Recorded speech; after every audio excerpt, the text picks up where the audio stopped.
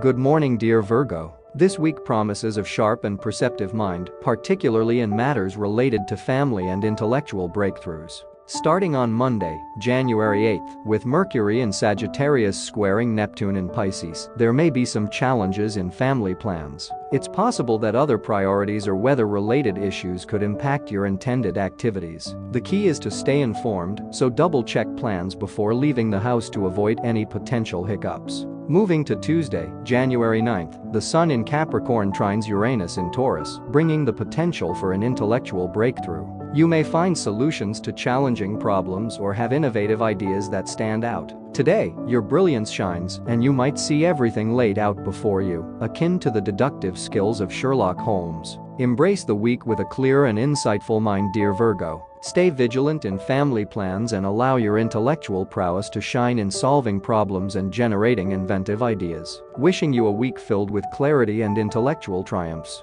Thank you for joining me today. Be sure to like and subscribe if you enjoyed your horoscope today, and check out my Facebook for fun and insights. Goodbye for now.